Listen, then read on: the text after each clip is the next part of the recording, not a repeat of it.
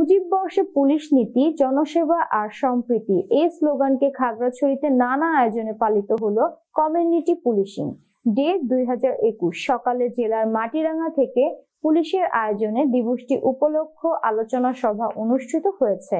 মাটিরাঙ্গা থানার officer in charge Mohammad আলীর সভাপতিত্বে আলোচনা সভায় প্রধান অতিথি হিসেবে উপস্থিত ছিলেন মাটিরাঙ্গা সার্কেলের সিনিয়র সহকারী পুলিশ সুপার মোহাম্মদ খোরশেদ আলম, অন্যান্যদের মধ্যে মাটিরাঙ্গা উপজেলা পরিষদের চেয়ারম্যান মোহাম্মদ রফিকুল ইসলাম, ভারপ্রাপ্ত উপজেলা নির্বাহী কর্মকর্তা মোহাম্মদ হেদায়েত উল্লাহ, উপজেলা আওয়ামী লীগের সাধারণ সম্পাদক সুভাষ চাকমা, সাবেক জেলা মুক্তিযোদ্ধা কমান্ডার রুয়েজ উদ্যান প্রমুখ।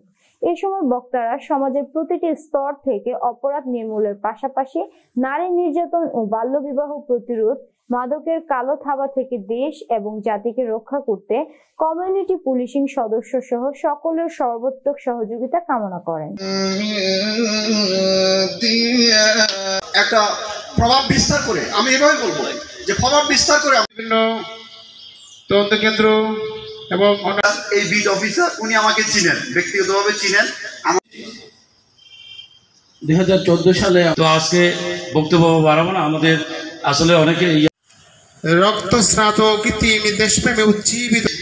দুইবার জন রয়েছে একজনের বিরুদ্ধে একজনের করি। সুধী মন্ডলী চেয়ারম্যান। ধর্মের বিষয়ে কাউকে সাহায্যের ক্ষেত্রে সহযোগিতার ক্ষেত্রে সমান অধিকার তারা ভোগ করবে।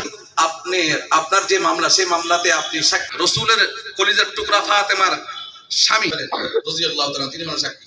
হযরত অনেক ধারা আছে সেই ধারা দিকে আমি যাচ্ছি না। সম্বোধন করি বলি আমি এই আপনাদের কি মনে আছে?